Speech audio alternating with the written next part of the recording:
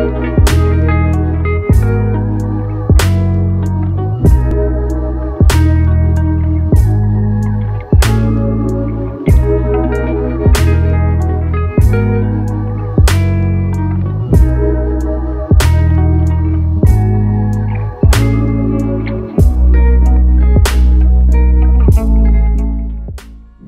guys, welcome back to my channel. So today I'm going to be using Urban Hydration's Honey Hair Care line. Um, I'm going to show you how I do the routine and everything. So, so the first thing I like to use is the Honey Detangling Spray. So first thing you do is just, just spray a lot, like a lot in your hair. And you want to do this because you want to be able to detangle it really easily. So keep spraying. Might have sprayed too much, but you know, just depends on how tight. So that's my pick. And you see how I just easily just, ah, like it's real easy. It doesn't hurt. It's not pulling my hair. And you know, just keep going.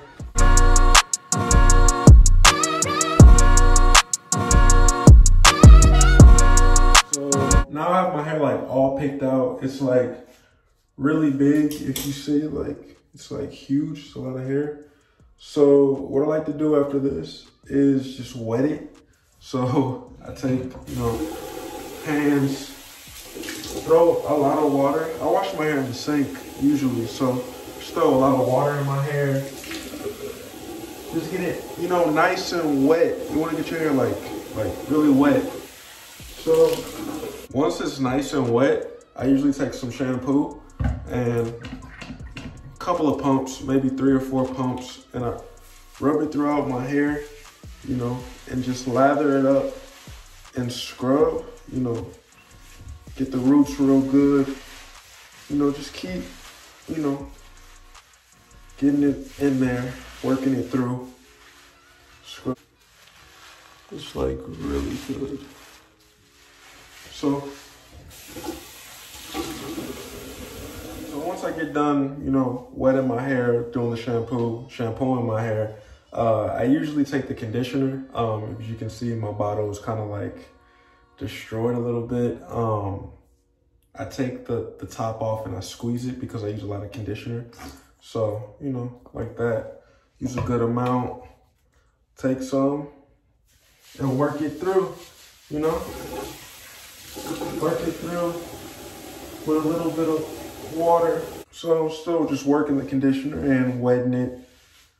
So I take a little bit more water, rub it in.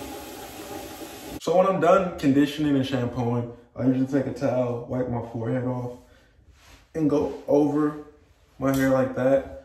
And then I shake my hair out just to get all the excess water because you don't want it to like drip down or anything.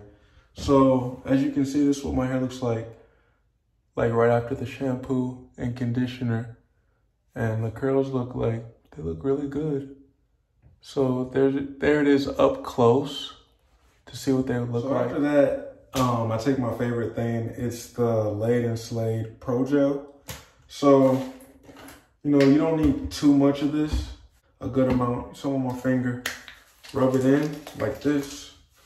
Just run it through the curls, you know, run it through. And just to make sure it's getting in, in the curls, I'll go by and I squeeze on the end. So I'll come back with the towel just to make sure there's no excess, wipe it down, and then I'm ready.